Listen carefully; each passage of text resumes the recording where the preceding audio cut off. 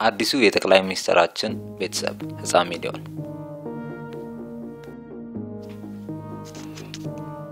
ዛሬ በተሰማው አዲስ መረጃ ቀዳማዊ እመቤት ወይዘሮ ዝናሽ ታያቸውና ጠቅላይ ሚኒስትር ዶክተር አብይ አህመድ ህፃን ሚሊዮንን በጉዲፈቻ ለማሳደግ ያቀረቡት ጥያቄ በፍርድ ቤቱ ተቀባይነት አግኝቷል።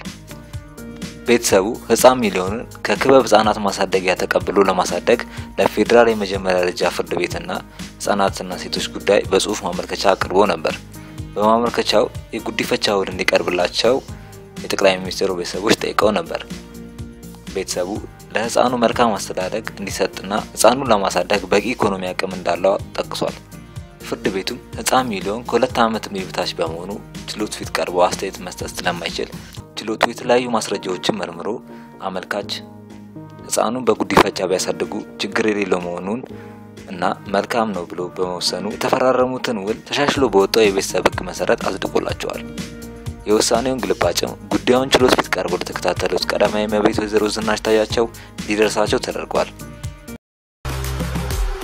እስከ መጨረሻው ስለተከታተላችሁ እናመሰግናለን። ቪዲዮአችን ከተመቻችሁ like እና share ማድረግ እንዳይረሱ፣ እንዲሁም አስተያየት ካለዎት comment ጻፉ።